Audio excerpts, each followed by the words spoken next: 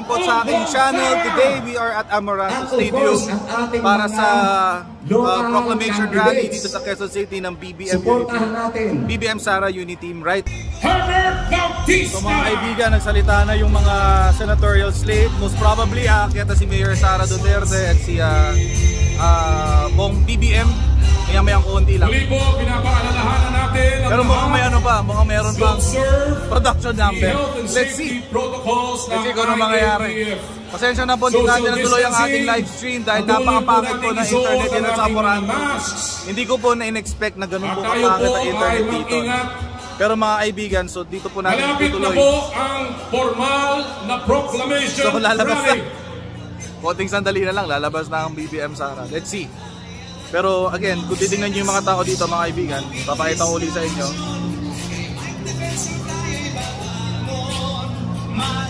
Yan, ganyan karami ang tao ngayon dito mga kaibigan. Hindi natin alam kung uh, anong total number niya right now. po namin ang mga konsihal probably around 20 na maghahanda na. lang dito ngayon mga kaibigan. at umakyat na po ng, ng stage. Yan mga kaibigan. So, so uh, in a bit, I think BBM and Sarah will be out in a bit.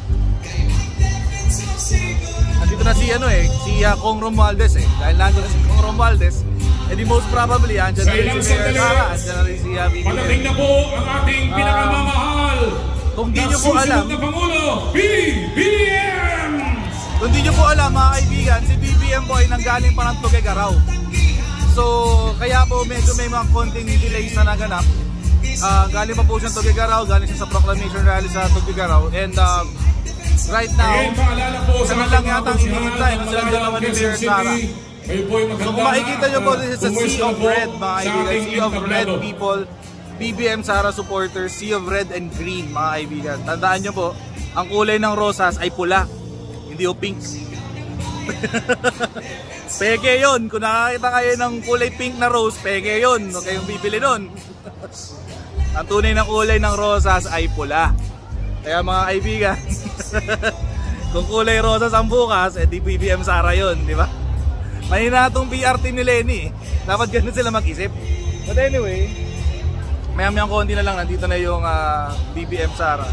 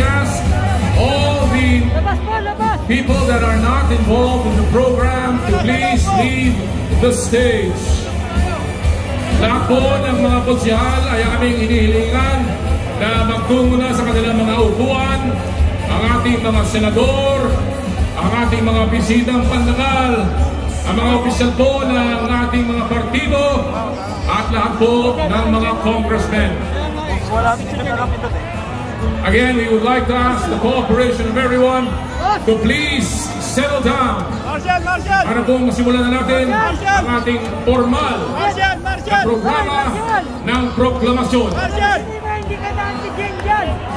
Marshal, Marshal! Labasin nyo na natin yung sabi dyan! May we ask yung mga hindi po authorized at hindi po kasama sa programa dito po sa entablado na bumaba na po. Pakiusap lang po yung pong hindi po kasama sa programa. Nakikiusap po ang unit team na bumaba na po tayo mula sa stage. Tayo po ay sumusunod sa mga protocol ng IATF. Please,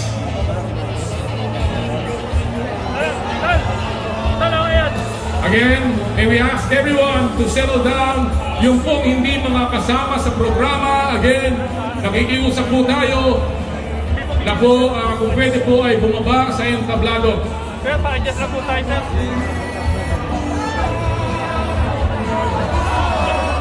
Dito po sa kaliwang ah, side ng ating entablado, yung pong hindi mga kasama, pakiusap lang po mula sa ating unit team at Malayang Quezon City na bumaba na po mula sa entablado. Doon po sa mga bandang kanan, yung pong hindi kasama, pakiusap lang po. We will ask the event marshals to please control the crowd. At sa lahat po sa atin, let us maintain the IATF health and safety protocols. Pakiusap lang po namin. Marshal! Palabasin mo, dadaan dyan mamaya!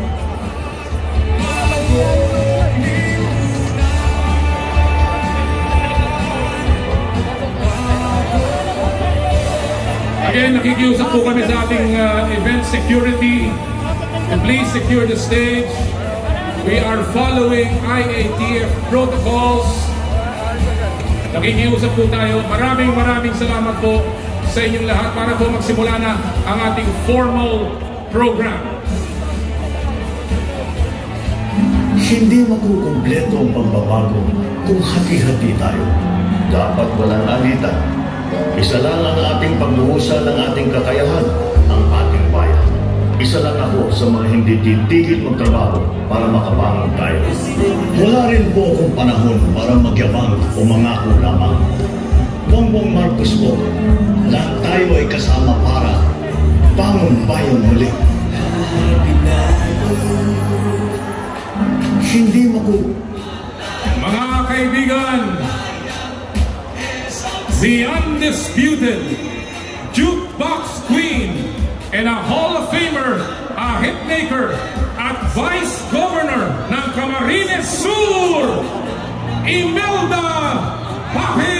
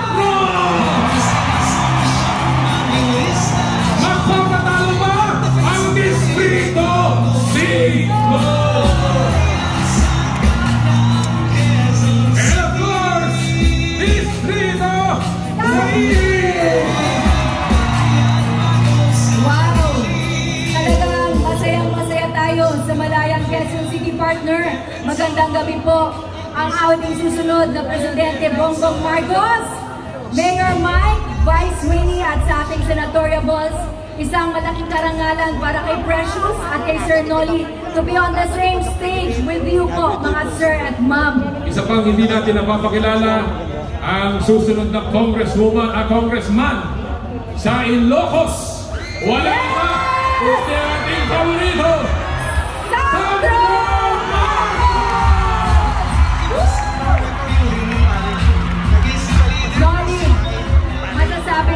kompleto na ang Valentine's Day natin Kompleto, kompleto. dahil Valentine natin si Sandro Marcos. Swerte ninyo! Swerte ninyo! Yes! Alright, Saya. let us begin.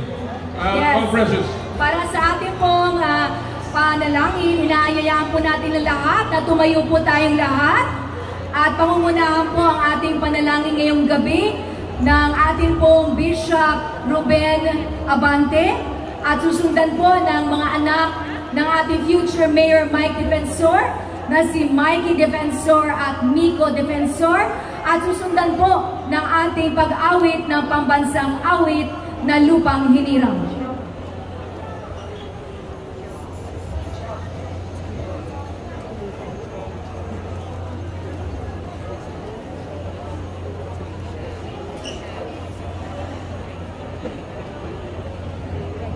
Okay. Mas maganda raw po na magtanggal ako ng face mask. Alam niyo sa Quezon City, maingat po tayong sumusunod sa lahat ng alituntunin ng IATF. Subalit malayo naman konti. Isang pinagpalang gabi po sa ating lahat sa Quezon City. Binibilang ko na isang pinagpalang oportunidad din ang makapiling po ninyo sa gabing ito at makapagministro sa inyo bilang isang bishop. Ako ang senior pastor ng Lighthouse Bible Baptist Church at nariyan lang sa kabila sa Tatalon, District 4. Eh malakas ang palakpak po ng mga nasa District 4 dito. Hindi lamang po ako magmiministro sa mga members ng Lighthouse, kundi sa ating komunidad, sa ating syudad. At sa bawat oportunidad na mayroon po tayo sa buong bansa po natin. At dahil po ako'y bishop, ako'y mangang aral, hayaan po ninyo na bago ako manalangin, ay magbasa muna ako ng ilang talata mula sa salita ng Diyos. Ano po? The Bible says in Jeremiah 29:7, at ito ay very significant na talata para sa ating lahat. Ang sinasabi po rito, Seek the peace of the city where I have caused you to be, and pray to the Lord for it. For in its peace, you will have peace. Yun ang kailangan natin. At hindi lang po iyan. Hindi lang po tayo nananalangin. Ang sabi po ay, When the righteous prosper, the city rejoices. And when the wicked perish, there is gladness. By the blessing of the upright, a city is raised up. Ito'y napakaganda. At nais ko po kausapin ang lahat ng mga Pilipino, kahit yung mga nasa kabilang mga partido, sapagkat ito ang sinasabi ng banal na kasulatan.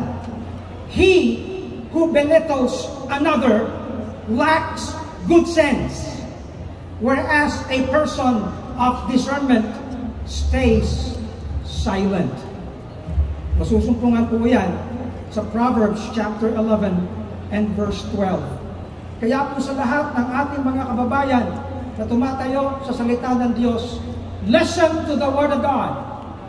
Sapagkat kung wala ang salita ng Diyos, saan kaya tayo pupulutin? David was a very good king of Israel.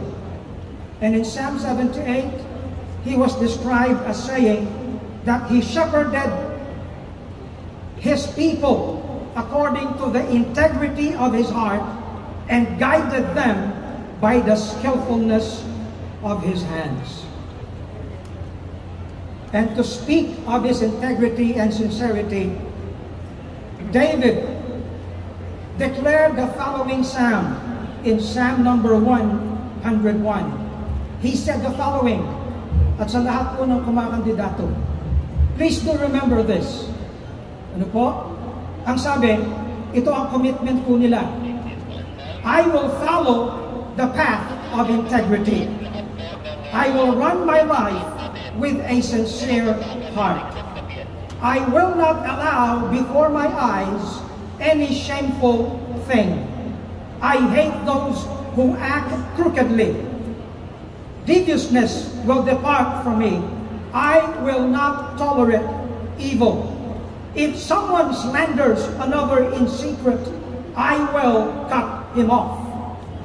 I look to the faithful of the land so that they can be my companions. Those who live lives of integrity can be servants of mine. No deceitful person shall live in my house. No liar can be my advisor. Medyo straightforward po yun. Hindi lang po tayo mananalangin. Susunod tayo sa sandigan ng katotohanan at yan ang salita ng Diyos. May we all pray. Dakilang Diyos, aming Ama, kami po, Panginoon, ay dumudulog sa iyo sa gabing ito.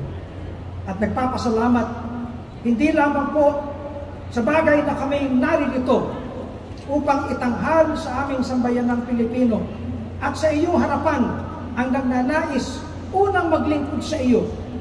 Ikalawa ay sa aming bayan.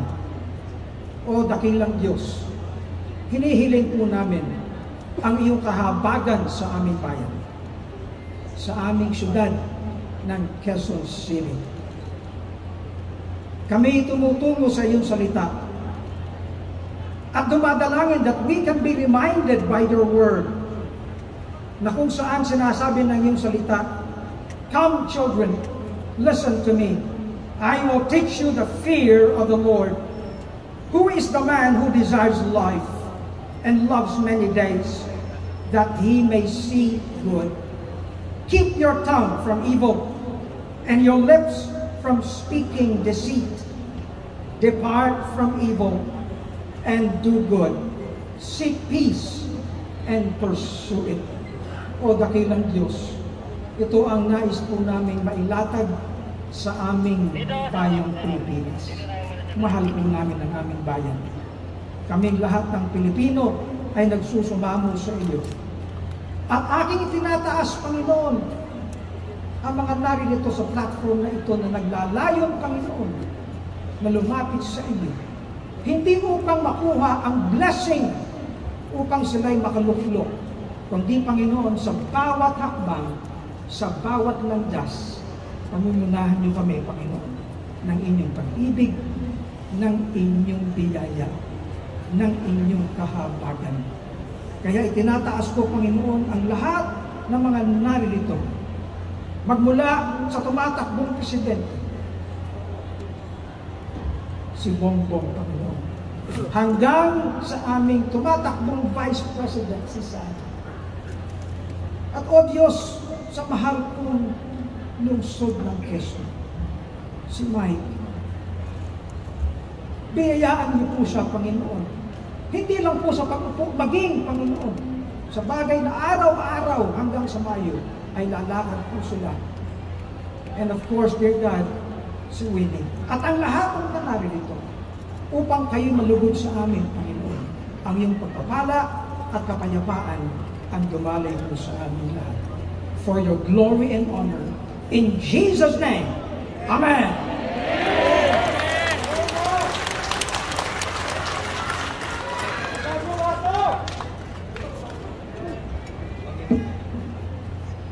Panginoong may likha, po ay nagpapasalamat para sa sanggaling ito ng aming pagsasama-sama. Lubos po ang aming pasalamat sa lahat ng iyong biyaya, lalo na ang araw na ito ng aming pagtitipon-tipon. Hinihiling po namin na gabayan mo kami sa aming pagkilos ng pagkakaisa at pagtaguyod ng bagong umaga para sa aming bansa. Gabayan mo kami sa aming pagkilos laban sa pandemya sa kahirapan na dulot nito. Dasal namin ang mapayapa at maayos na halalan. Aming dakilang may likha, hinihiling po namin ang inyong gabay sa pagtahak namin sa landas na inilaan mo para sa aming kinabukasan. Basbasan po ninyo ang mga kandidatong tumatakbo ngayong halalan. Bigyan po ninyo sila ng dalisay na hangaring paglingkuran ang aming bayan ng buong puso at isinasa isip ang kapakanan ng lahat. Pagkalooban po ninyo sila ng tapang ng kalooban upang harapin ang mga hamong kalakip ng pagiging lingkod sa bayan. Pag-isahin po ninyo ang aming mga damdamin para sa ikasusulong ng aming minamahal na inang bayan. Mahal naming Ama, iniaangat namin ang aming mga adikain sa inyo para sa katuparan ng iyong kalooban para sa aming minamahal na Pilipinas. Lahat ng ito ay aming samot dalangin sa pangalan ng dakilang pinuno at aming tagapaglikha. Amen.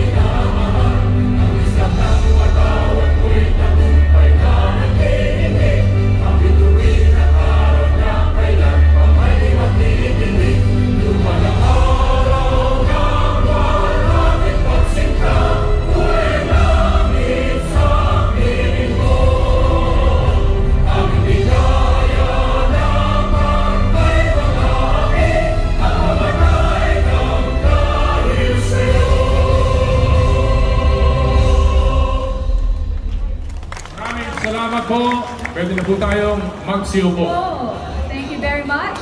Salamat po sa ating uh, Bishop Ruben Nabante. Gayon din po sa mga anak ng ating future Mayor Mike Defensor, Mikey Defensor at Miko Defensor.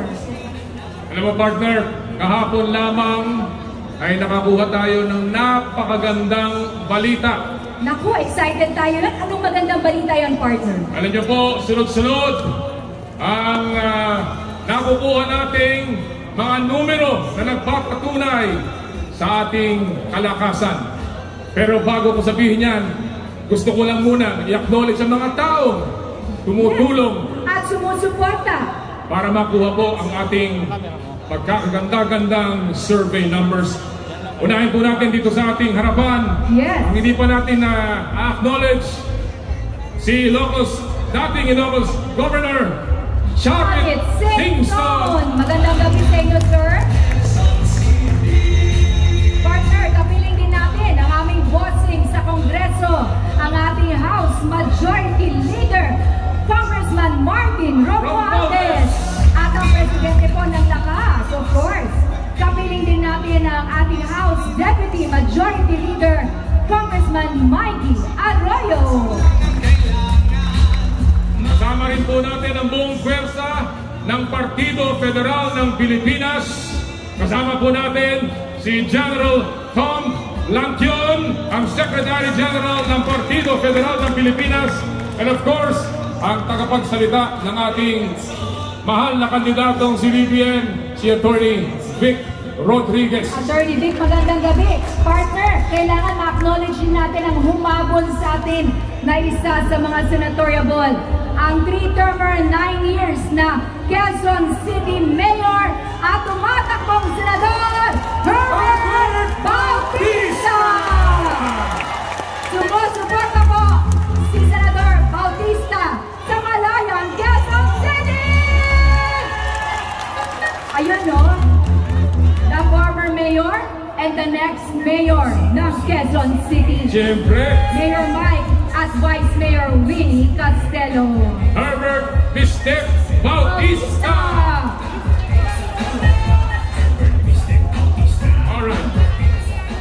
Sa pagpapatuloy ng ating programa, Kagaya ng sinasabi ko mga kaibigan, sa ilang araw po lumabas na ang mga numero. Ang Radio Mindanao Network sinasabing 56.8% na ang ating Pangulong BBM. Yay!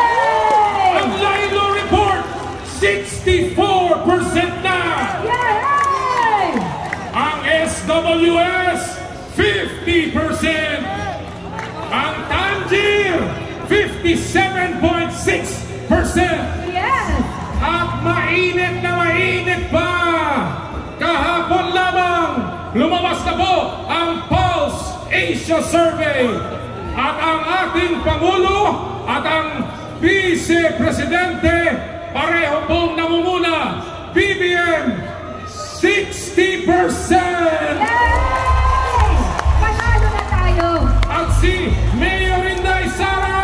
50%!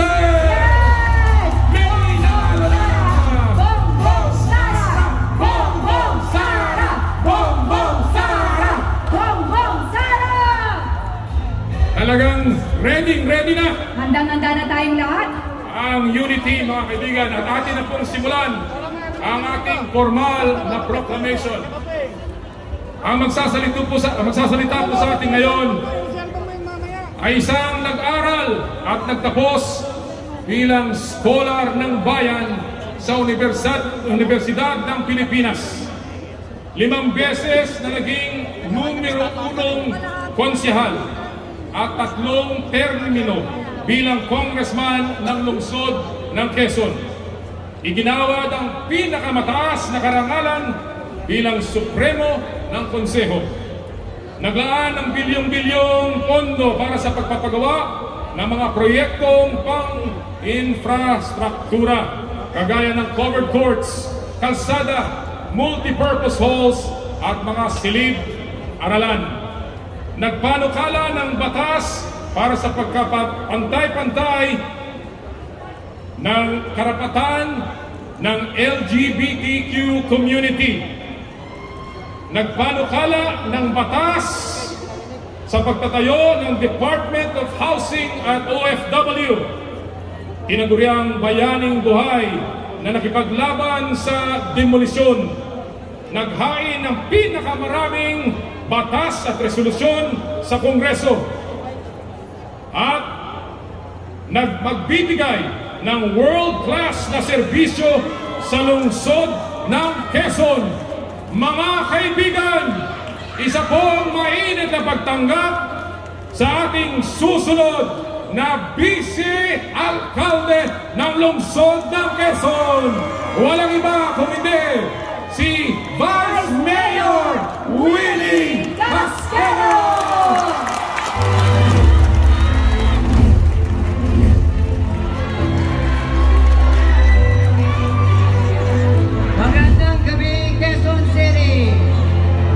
Gising ko ba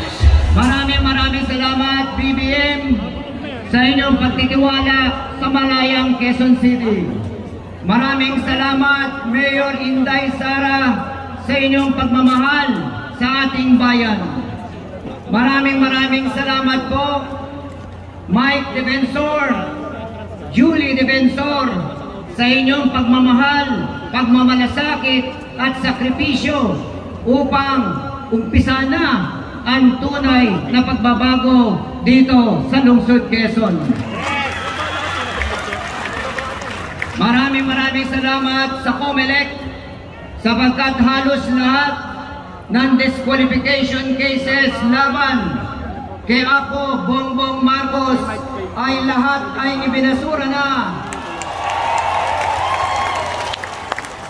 Kaya sabi nga ni Tony Gonzaga, tapos na ang halalan, may nanalo na. Ako na kay Ferdinand Bongbong Marcos. Mga kasama, ang tunay na naglilingkod sa ating bayan ay katulad ni Bongbong Marcos. Bumababa sa kagipitan, nakikita sa mga kalamidad.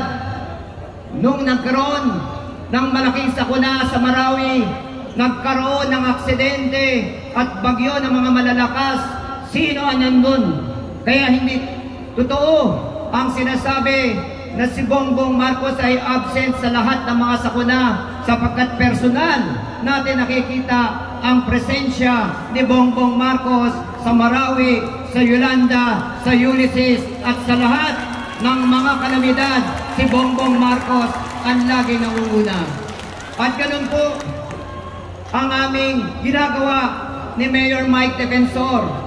Unang putok pa lang ng COVID, bumababa na lumalaban sa pandemya, nakikita na tumutulong sa taong bayan. Alam namin ni Mike Defensor na yung pagbaba sa area, doon po natin malalaman ang tunay na, na problema ng ating lipunan. Doon po namin narinig ang mga karaingan ng tao. Meron po kami nakasalubong sa pagbabahay-bahay po namin. Isang pasyente ng dialysis, mamamatay na raw siya sapagkat hindi po niya kaya tustusan ang second cycle. Yung nanay na halos umiiyak kay Mike Defensor sapagkat wala po siyang pera upang mapagamot ang kanyang anak na may sakit. Yung isang construction worker nawalan ng trabaho dahil sa pandemya. Isang bata rin na lumapit kay Mike Defensor, ang sinabi ng nanay, hindi na siya makakapasok sa paralan sapagkat wala po siyang computer gadget o kaya tablets para ituloy ang kanyang pag-aaral.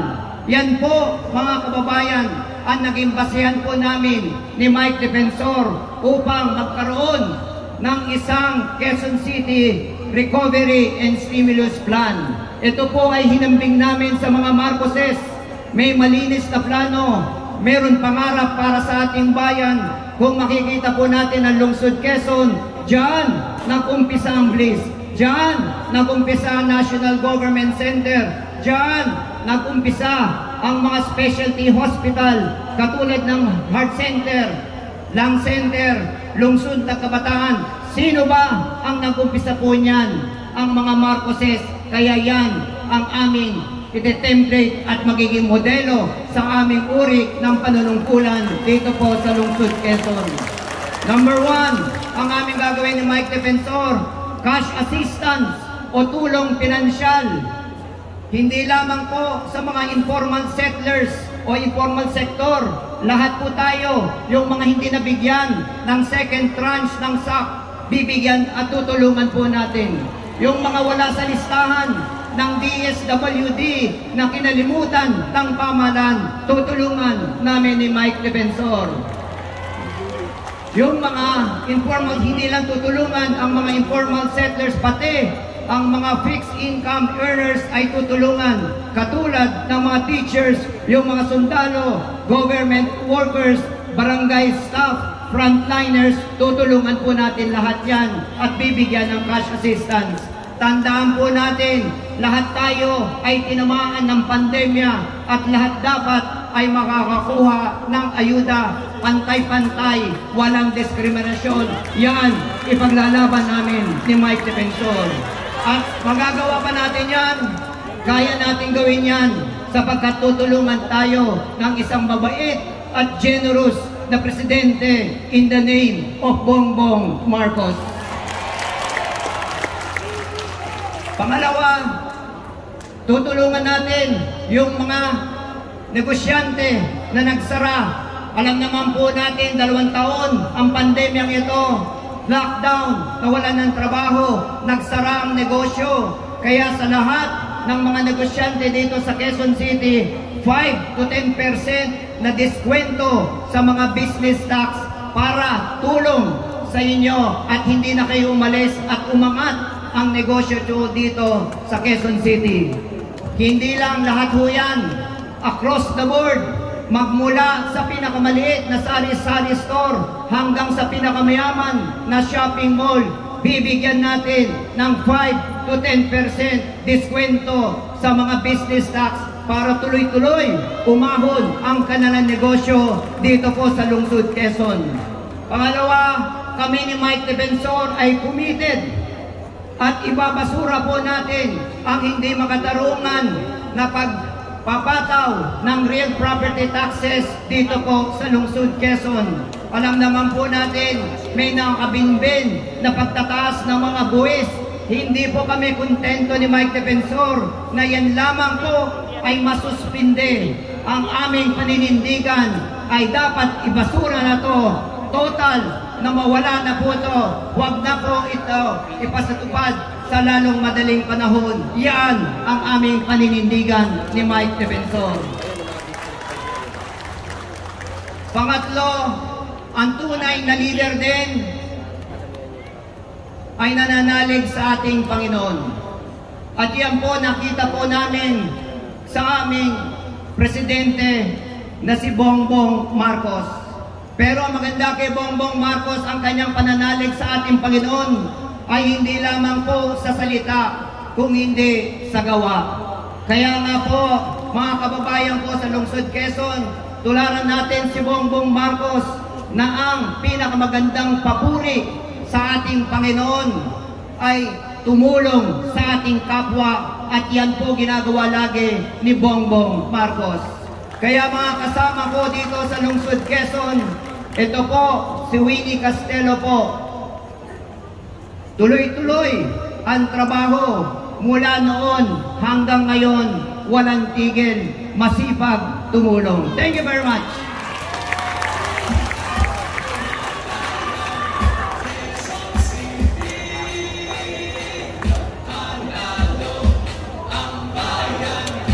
Muli po, palakpakan natin ang susunod na Vice Mayor ng Quezon City, Winnie Castelo!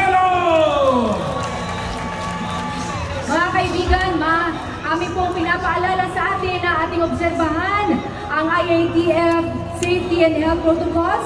Please observe social distancing. Mula, muli po namin tatawagin ngayon si Vice Mayor Winnie Castelo para ipakilala ang ating susunod na magsasalita ngayong araw pong ito. Yes, mga kaibigan, excited tayo at ipapakilala na ni Vice Winnie. Yes, maraming maraming po salamat, Quezon City. Ngayon po, pakikinggan po natin ang mensahe at pagbati ng susunod na Vice President ng Lungsod Quezon. Pakinggan po natin ang kanyang mensahe dito po sa ating audiovisual presentation. Palakpakan po natin ang susunod na Vice Mayor, Vice President ng ating ng Republika ng Pilipinas, Sara Zimmerman Duterte.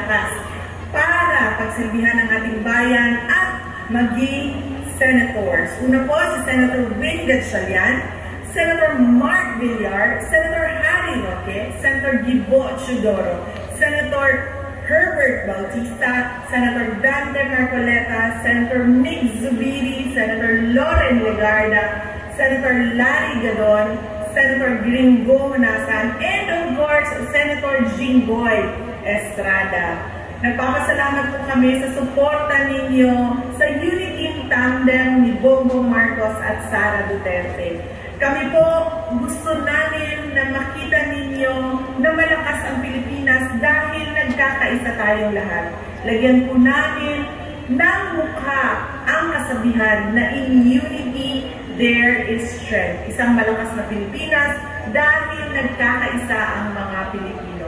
Ako, si Sara Duterte, may tibay ng puso na gawin ang lahat sa aking trabaho upang tayo ay makaranas ng mapayapang pamumuhay dito sa ating bansa. Mahalin natin ang Pilipinas. Maraming salamat po.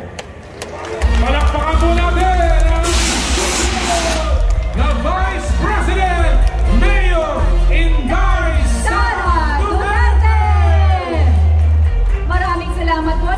susunod na Vice President Inday Sara Duterte. Ngayon mga kaibigan, alam ko excited na tayo mapakinggan ang susunod na magbibigay ng mensahe sa atin.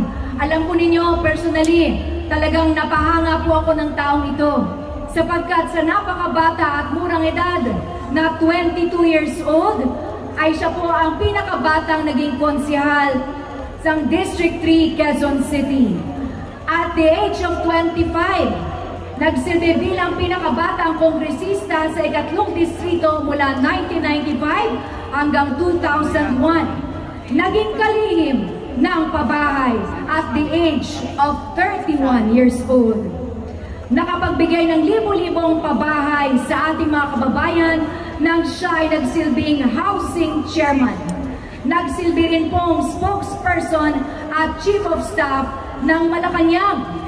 Mga kaibigan, sama-sama nating pasalubungan na masigabong palakpakan ang nakalusugan party list representative at ang ating susunod na mayor. Mabilis ang aksyon, mahusay na solusyon, Mayor Mike Deranson!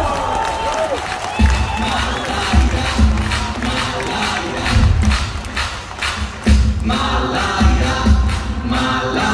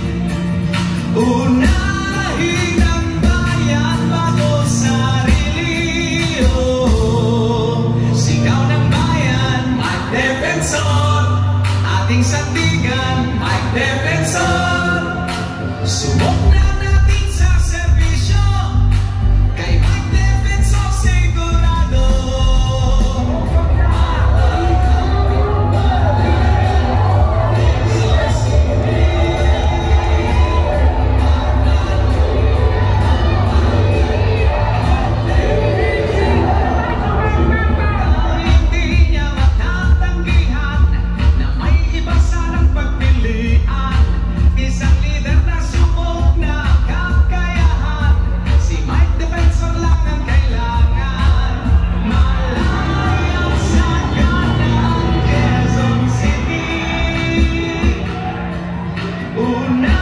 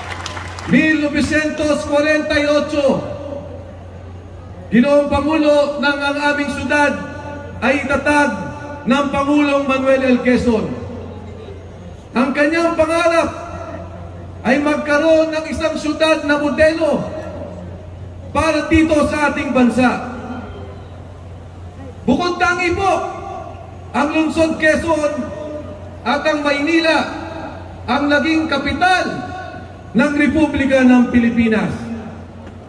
Ang syudad na ating pinapangarap ay maasenso, maunlad, at lahat tayo na naninirahan dito ay mapayapa. Ngunit sa pagdaan ng panahon, ang pangarap na ito ay di na namin magunita. Ngunit ngayong araw, ngayong gabi, sa pagdating ng susunod na Pangulo ng Pilipinas, si Bongbong Marcos, lumiliwanag na naman ang kinabukasan ng lungsod Quezon. Nasa gitna ng pandemya, sama-sama tayong magtutulungan, sama-sama tayong lalaban, na ang may sakit ay ating matulungan, mahirap man o mayaman.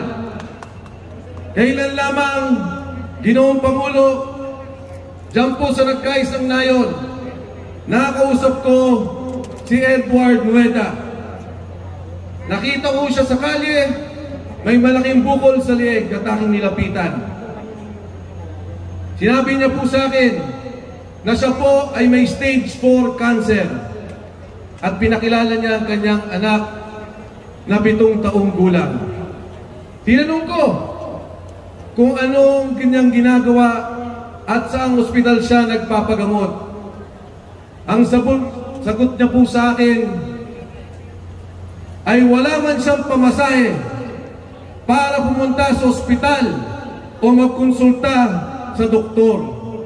Sapat lamang ang kanyang kinikita para sa kanilang pangailangan, pambayad ng kuryente, pambayad ng tubig, pagkain sa lamesa ng kanyang pamilya. Bago ho umabot ang Pasko, namatay si Edward Nueda nang walang nakitang doktor.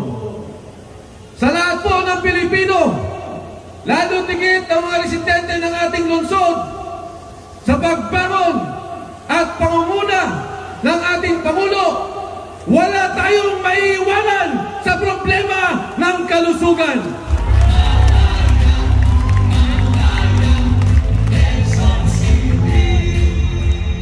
Kung kayo po ay nangangailangan at kailangan ng suporta, ang gobyerno nyo tutulong, lalaban at babangon kasama kayo.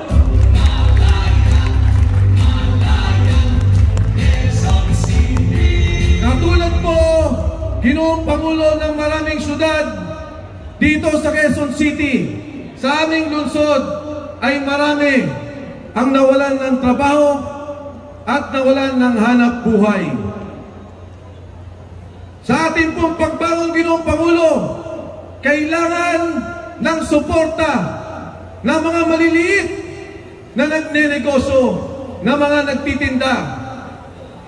Sa aking ang paglakad, dyan po sa Payatas, nakausap ko si Aling Lolita Bueda. Walong taong 80 years old na po ang kanyang edad. May balde na naglalaman ng gulay at kanyang nilalako. Ang sabi ko sa kanya, Nay, magkano po ang iyong kailangan para ikaw ay aming matulungan? Sila po ay umuutang para magbenta at ang sagot niya, liman libo lang po, maluwag na kami. Sabi ko, bakit po kayo nagtatrabaho pa? Sabi niya, Mike, meron pa akong dalawang apo. Ulila na sila. Wala na mga magulang. Pero sa halagang liman libo, ay malaking kaluwagan na para sila ay aking, ma, aking maitaguyod. Kaya mga kasama, dito po sa ating lungsod, at ang ating Pangulo sa buong Pilipinas, tayo ay gagawa ng programa na mga maliliit, magkanegosyo, magkahanap buhay, bumangon at may taguyod nila ang kanilang mga pamilya.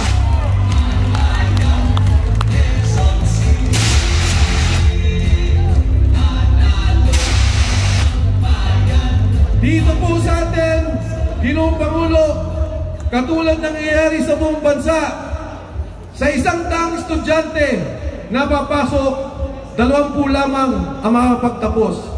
Out of 100 students, we only have 20 graduates. At nakakalungkot po, dahil na marami sa kanila, hindi sa ayaw mag-aral, ngunit walang pangtustos sa kanilang edukasyon. Katulad niyang ilita ng batasan, na nang aking tanungin, ang sabi sa akin, huminto siya ng pag-aaral. Dahilan sa wala siyang pamasahe, wala siyang baon, at wala siyang pambili ng gamit sa eskwelahan.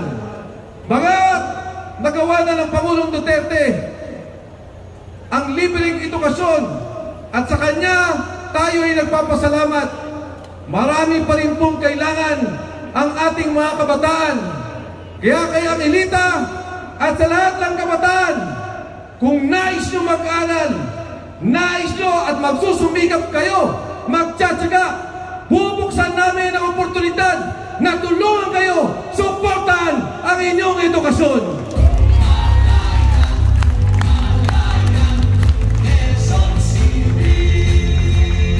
Nakikita ko sa karamihan sa atin ay maraming senior citizens. Alam niyo ho, Ginoong Pangulo, may batas tayo na magbibigay ng suporta, limang daang piso sa lahat ng senior citizens.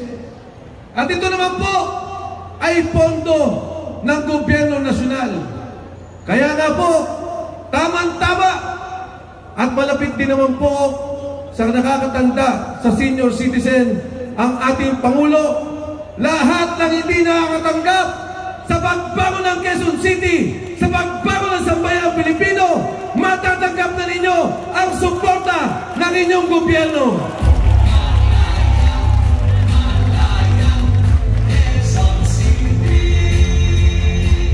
Ilan lang po to, ilan lang po to sa mga batayang programa na kailangan pagtulungan ng ating lungsod, ng ating gobyernong lokal, kasama ang gobyerno nasyonal. Ginoong Pangulo, susunod na Pangulong Bongbong Marcos, hindi po kami nanlilimos o humingi ng donasyon. Ang inihingi lang po namin ay ang batayang prinsipyo na lahat ng kabataan, lahat ng Pilipino magkaroon ng oportunidad na magkaroon ng magandang kinabukasan ng kanilang pangarap at pitiin sa buhay. At ito po ang hiling namin sa inyo.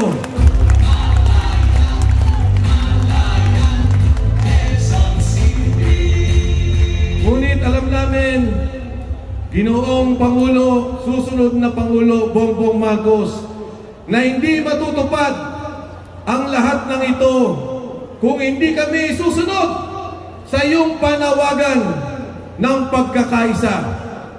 Na dito sa atin, walang pagkawatak-watak, walang pag-aaway-away, magtulong-tulong tayo, magsama-sama tayo.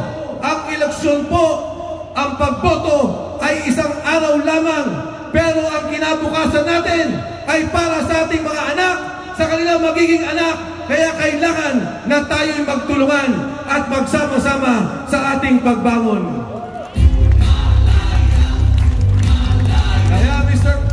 Mr. President, bagamat ako po ay nakasuot ng pula ngayon, pag upo niyo po sa Hunyo at sigurado na pong Presidente ang Pangulong Bongbong Marcos,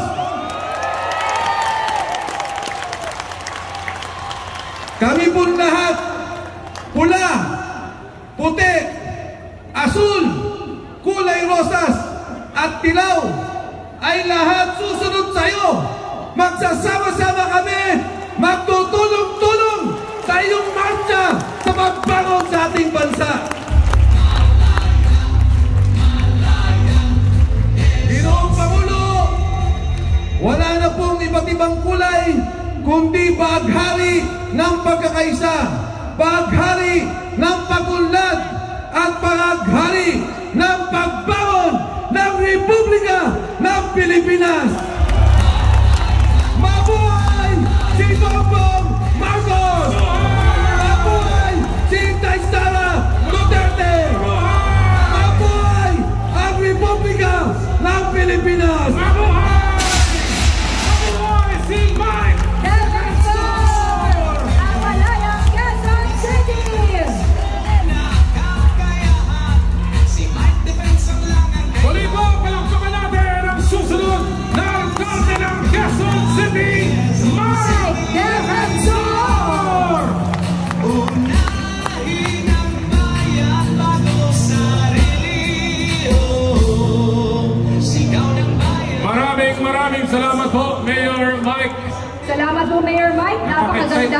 nakaka-excite, nakaka-excite. Nakaka-excite talaga. Lahat tayo na-excite doon.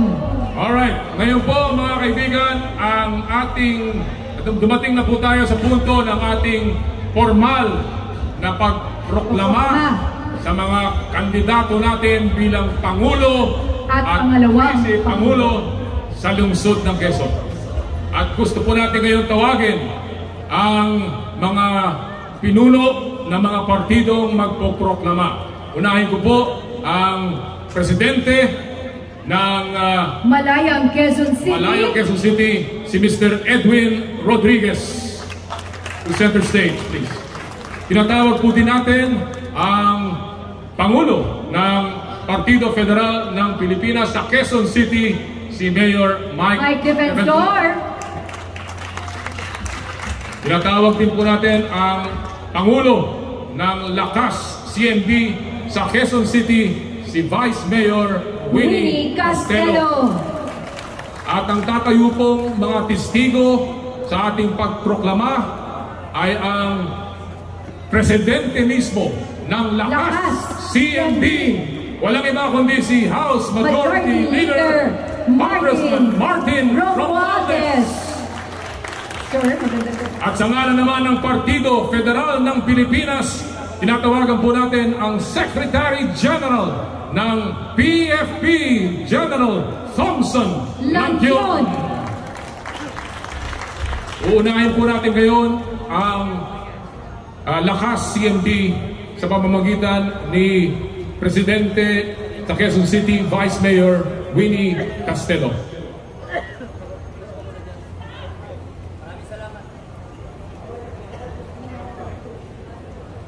Maraming salamat ah, sa inyo lahat. Bilang chairman ng Quezon City Lakas CMD, kami pong tinatanghal at pre-proclaim ang kandidatura bilang Vice President si Sara Zimmerman Duterte Carpio. Ngayon po, tinatawagan natin ang Pangulo ng Partido Federal ng Pilipinas sa Quezon City, Mayor Mike Defensor. Wala po sa Partido Federal, Secretary Tom Lanchon, ang aming Presidente, Governor Tamayo, amin pong pinoproklama na aming kandidato bilang pangalawang Pangulo, si Inday Sara Duterte, at ang aming kandidatong Pangulo, Ferdinand Bongbong Marcos Jr. At tinatawagan po natin ngayon ang Presidente ng Malayang Quezon City, si Mr. Edwin Rodriguez. By the power vested in me as President of Partido Malaya Quezon City, on behalf of the officers and members of the party, it is with great honor to proclaim tonight Mayor Inday Sara Duterte Carpio as our official candidate as Vice President for the May 2022 election. Isang malaking kagalakan na ipinararating ko sa mga mamamayan ng Lungsod Quezon na ang susunod na magiging Pangulo ng Bansang Pilipinas ay naniniwala na pagsama-sama ang bayan ay babangon. Ganon din na pagsama-sama ang Lungsod Quezon ay lalaya. On behalf of the officers and members, it is with great honor and privilege that I, as President of Partido Malayang Quezon City, proclaim tonight our candidate for President of the Republic of the Philippines, Ferdinand Bongbong Marcos Jr. BBM! BBM!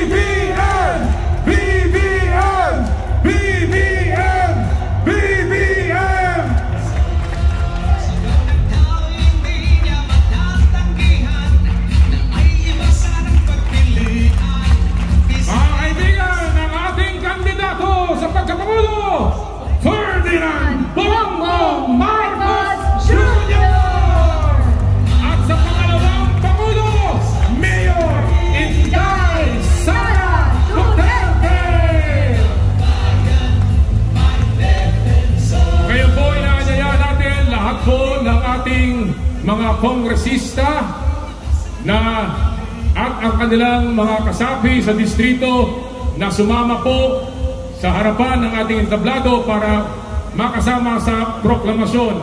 Para sa unang distrito, ang Team Servisyo Crisologo, ang ating Congressman Onyx Crisologo. Kasama ng kanyang mga kandidato sa pagkakonsihal sa Malayang, Quezon City. Nikki Crisologo, Johnny Nieto, Fred De Castro, Lole Garandang, Leonardo Jun De Leon, and Bong Vincent. Mga kaibigan, Distrito 1!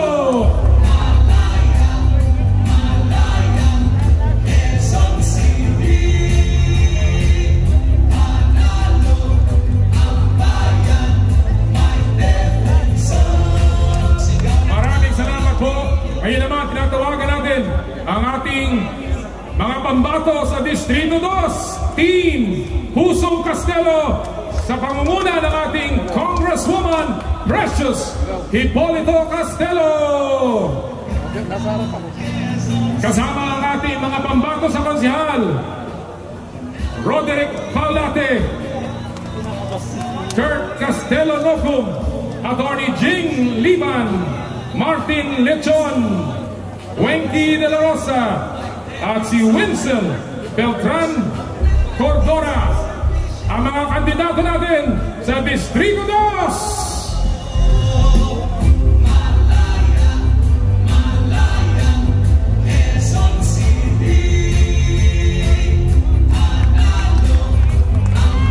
Maraming salamat po. Ngayon naman, mula sa Distrito 3, ang team Yes na yes! Kasama ating Congressman Alan Reyes! At ang ating mga konsehal, Attorney Anton Reyes, John Defensor, Alan Franza, at si Cesar de la Fuente Jr. Team Yes na Yes sa Distrito Press!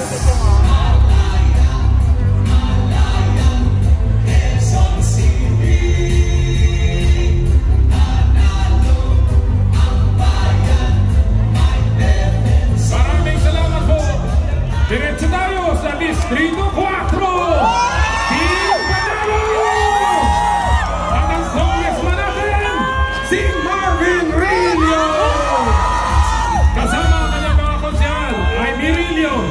Nanef Castelo Daza, Adori Ariel Anton, Bobby Andrews, at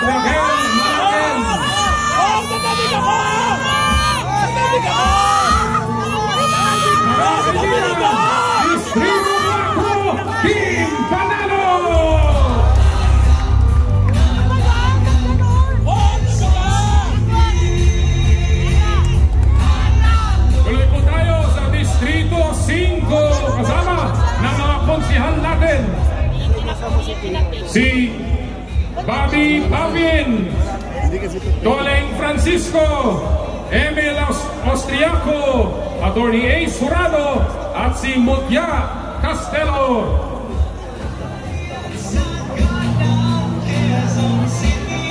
Mga kaibigan, mula sa Distrito 5, Malayang, Quezon City.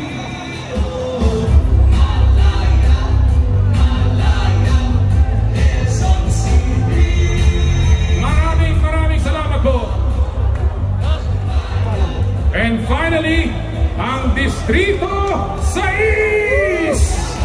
Servisyong Crisologo sa pamamagitan ni Congressman Bingbong Crisologo!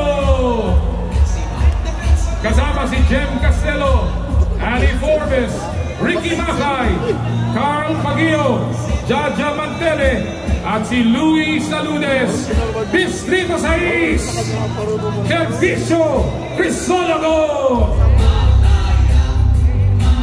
Maraming maraming salamat po, Ginoong Pangulo. Maraming salamat po. Ngayon po, ito na po ang inyong pinakihintay at para pakipakilala ang ating panauhing bisita. Walang iba kundi ang susunod na mayor ng Quezon City, Mayor Mike Defensor. Maraming maraming salamat. Ito na po ang pinakahihintay natin. Ang ating pong susunod na Pangulo. Naging labing dalawang taon na gobernador. Tatlong taon po bago noon ay vice-gobernador. Anim na taon naging kinatawan sa ating kongreso. Anim na taon na naging senador. Ang ating pong susunod na Pangulo nagtayo ng tatlong windmills sa Banggi, sa Pagudpod at sa Burgos. At dahil po dyan, nagkaroon ng award ang Ilocos Norte bilang International First Class Province mula po sa United Nations.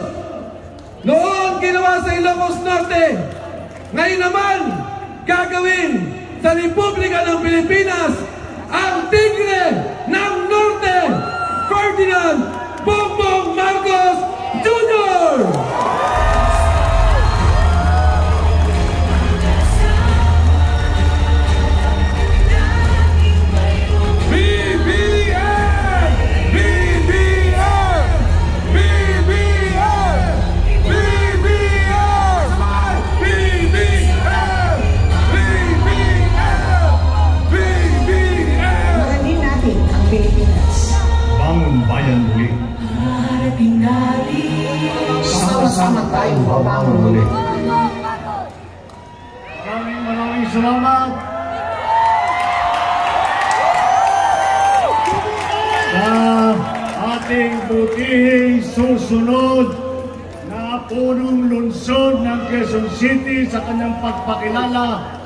Salamat Mike Defensor. Babatiin ko lang po ang ating mga kasamahan na nandito sa harap ninyo ngayon na galing ng Quezon City. Andyan po ang susunod na Vice Mayor natin, Vice Mayor Willie Castelo. At ang mga kongresista na ipapasok natin sa House of Representatives para makapagserbisyo sa taong bayan, hindi lamang sa Quezon City, kung hindi sa buong bansa. Congresswoman Precious Castelo, Congress, Congressman Onyx Crisostomo,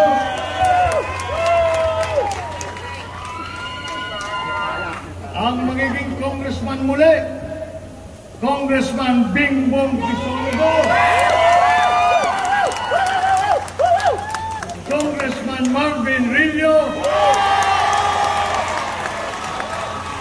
Congressman Alan Reyes, at nandito rin po, kasama po natin ang aking naging classmate sa House of Representatives na ang dami-dami pong itinuro sa akin kung paano, ipa, paano mapalakad ang mga kailangan gawin sa House of Representatives. Ito po ang ating minamahal Congressman Ani Susano.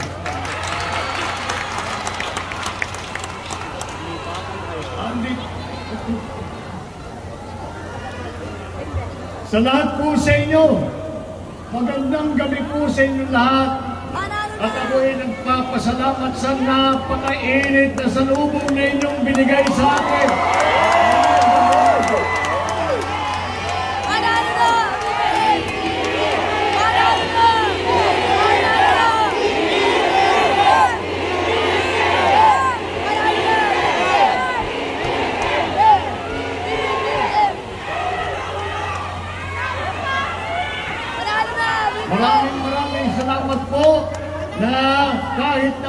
Ito ay araw ng mga puso, kayo po ay nakahanap ng panahon upang tayo ay magkasama sa Valentine's Day. I love you, baby! At sa palagay ko, tamang-tama po ang mensahe ng Unity Team dahil ang ating ang ating ipinapagmalaki na kulay ay ang kulay na pula, tamang-tama kulay ng pagmamahal. Kaya naman po, ay tamang-tama rin po yan sa mensahe ng Unity. Dahil po kami ni Inday Sara ay mula noong Nobyembre pa ay umiikot-ikot po kami sa buong Pilipinas at isinisigaw namin at ipinapahayag namin ang aming adikain ng pagkakaisa. Dahil po sa aking palagay at tatapat, tapat ang aking paniniwala na sa hinaharap nating krisis ay ang kailangan nating unang hakbang na gawin ay magkaisa. Tayo po naman, alam po natin ang kasaysayan ng Republika ng Pilipinas. Tayo po ay maraming dinaanan na sakuna. Tayo po ay maraming dinaanan na krisis. Ngunit na rin nandito pa rin tayo nakatayo at nangyari po yan dahil po tayo ay nagkaisa, kaya tayo nakaraos sa kahit na anong hamon na ibibigay sa taong bayan na ibibigay sa Republika ng Pilipinas. Tayo po ay dahang-dahang umaahon sa krisis ng pandemya. Ngunit kahit na tayo ay makalampas na sa krisis ng pandemya, kailangan pa rin natin harapin ang krisis ng ekonomiya na dala rin ng pandemya. Marami po tayong gagawin. Nakita po natin ang mga pagkukulang nasa patakbo ng ating pamahalaan sa sistema ng ating lipunan. Kailangan po natin tulungan ang mga maliliit na negosyante dahil sila po ay mabigat ang kanilang dala. Sila ay nalubog sa utang. Sila ay hindi mapabuksan ulit ang kanilang mga negosyo. Kailangan natin ayusin ang ating agrikultura upang may sapat tayo na pagkain para sa lahat at binawasan natin ang importasyon na galing sa labas. Kailangan natin buhayin ang tourism industry para magkaroon uli ng trabaho para may pagmalaki na naman natin ang Pilipinas. Kailangan natin ituloy ang ating ang ating infrastructure program. Kailangan natin pagandahin ang ating internet. Maraming marami po tayong kailangan pang gawin. At alam naman po natin, ang isang tao, kahit gaano kagaling, kahit gaano kasipag, ay isang tao lamang. Kahit ang buong pamahalaan ng Pilipinas, hindi kayang nag-iisa na iaahon tayo. Yung malalaking korporasyon ng mayayaman, ay kahit sila, hindi nila kayang nag-iisa. Kaya naman po tayo ay kailangan magkaisa lahat ng Pilipino na ipagbuklod-buklod ang ating kakayahan, ang ating galing, ang ating sipag, at bukod sa lahat, ang ating pagmamahal sa kapwa Pilipino. Kaya naman po,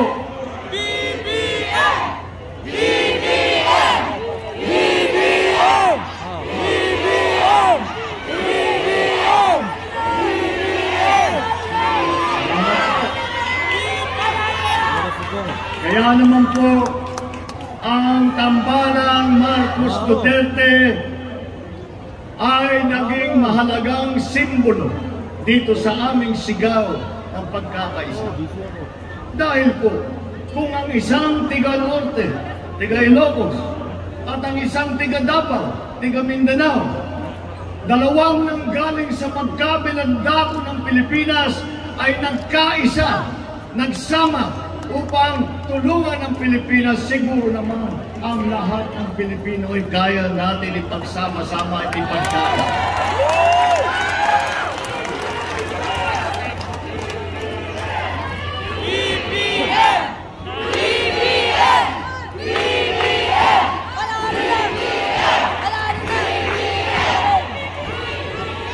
Sa, sa amin pong, sa amin pong pag-iikot, at pagkakalat ng mensahe ng pagkakaisa. ay dahan-dahan po naririnig natin ang sagot na galing sa taong bayan. Nang simula po, ang naririnig nating sagot ay parang bulong lamang. Ngunit habang tumagal ang panahon sa nakaraang ilang linggo, sa naka, nakaraang ilang buwan, ay yung bulong na yan ay dahang-dahang lumalakas at nagiging sigaw na at nagiging sigaw na sinasabi ng ating mga kababayan kasama ako dyan sa pagkikilos ng pagkakaisa.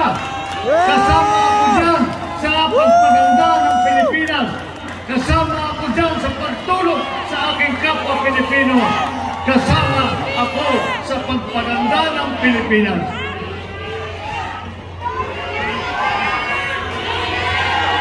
Hindi naman po siguro nakakagulat na ganyan po ang naging sigaw ng ating mga kababayan. Dahil po naman, alam naman natin, alam naman po natin na ang ugali ng Pilipino ay mapagmahal. Ang ugali ng Pilipino ay makulungin. Ang ipinagmamalaki nga nating katangian ng Pilipino ay tayo'y makabayanihan. Hindi po tayo nag hindi po tayo nagka, nakikipag-away. Hindi po tayo naghahanap ng gulo. Ang, ang kultura ng Pilipino ay pag nakita ang kanyang kapwa na nangangailangan ng tulong ay tutulungan. Pag may nakita ang kapwa Pilipino na naghihingalo ay ibibigay ang kanyang kamay para makapagdulot ng kaunting ginhawa sa kanyang kapwa Pilipino. Yan po ang kultura ng Pinoy. Yan po ang katangian ng mga Pilipino. Yan po ay ang dahilan kung bakit yung bulong na nagsimula na sa pag pagsasang-ayon sa ating kilusan ng ating pagkakaisa ay hindi na lang bulong kundi naging sigaw na at yung aming dating mensahe naman ay naging kilusan na. Naging kilusan ng pagkakaisa. Naging kilusan na pagkakaisa ng sambayanang Pilipino.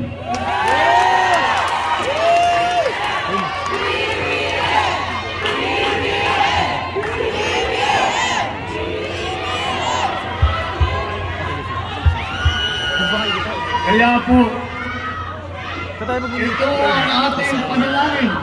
Ito ang ating pangarap. Ito ang ating layunin para sa ating bansa. Itong pagkakaisa.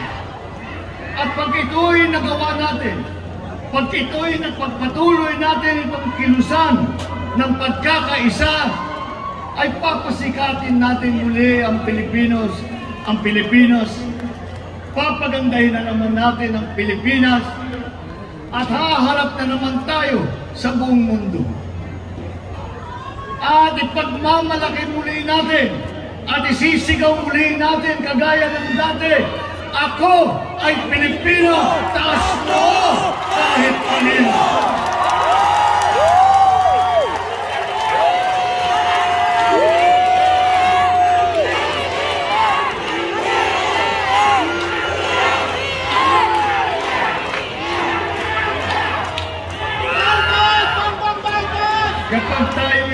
Nagkaisa lahat po itong layunin na ating na ating iniisip para sa ating bansa, para sa ating mga kababayan, ay magagawa po natin lahat ng na, na, na kailangang gawin upang tayo naman ay masasabi natin na ginawa natin ang serbisyo natin, ginawa natin ang trabaho natin para ang Pinoy, ang mga Pilipino ay makabalik na sa trabaho.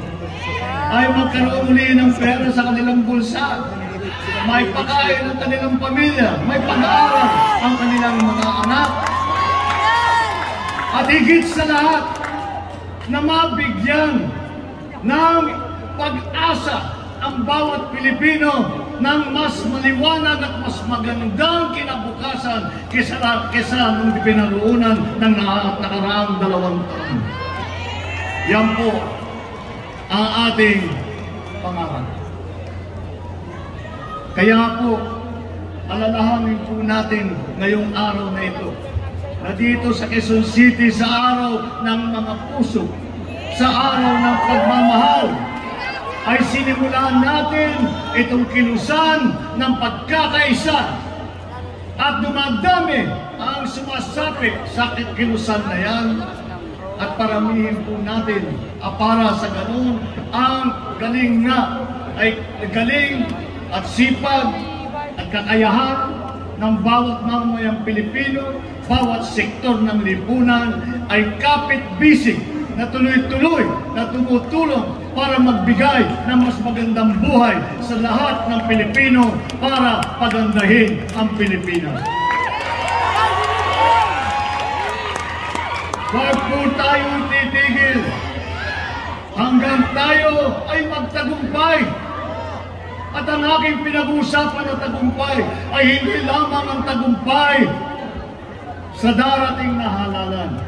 Ngunit, ang tunay na tagumpay ng pagkakaisa muli ng sambayan ng Pilipino, ipaglaban po natin ang ating mga kapwa Pilipino, ipaglaban po natin ang ating minamahal na bansang Pilipinas at sa ganun tayo po sasama-sama papangon muli. Maraming salamat po. Mabuhay ang Quezon City!